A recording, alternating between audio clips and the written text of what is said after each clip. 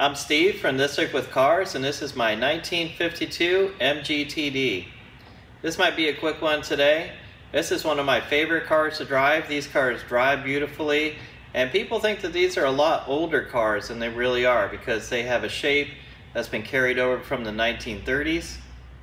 Today I'd like to make the car just a little more reliable by installing a solid-state SU fuel pump in place of the original points unit. The fuel pump on the MGTD is located right here on the right hand side under the bonnet. And if you had one of the MGTD Mark IIs meant for racing, you would have two fuel pumps sitting here.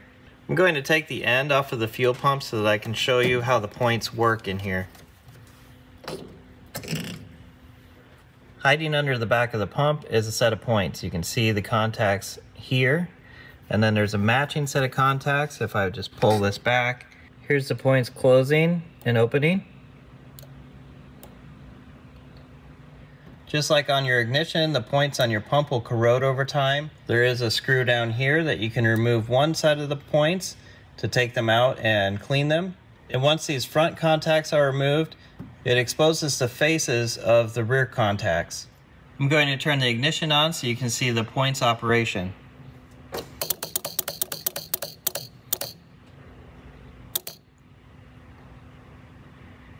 Your points will click and the fuel pump will pump up until the pressure needed for the carburetors has been met. If your pump continues to pump, you may have a bad float valve or some other fuel leak. So here's the new pump. It looks just like the old pump. And all the connections are the same, so this is a very easy swap. One thing to remember is these old pumps don't matter if it's a positive or negative earth car, but these new solid state pumps, it does matter. And if your pump has a red piece of tape on it like this, that means that this is a positive earth pump. If this tape right here is black, then it's a negative earth pump. And you will have to order the correct solid state pump for your car.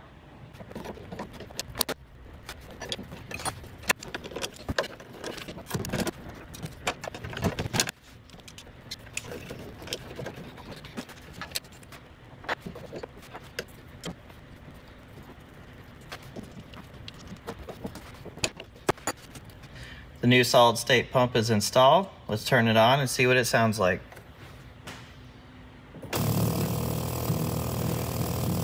You can hear it's much quieter than the original pump. It sounds more like a vibration than it does a clicking.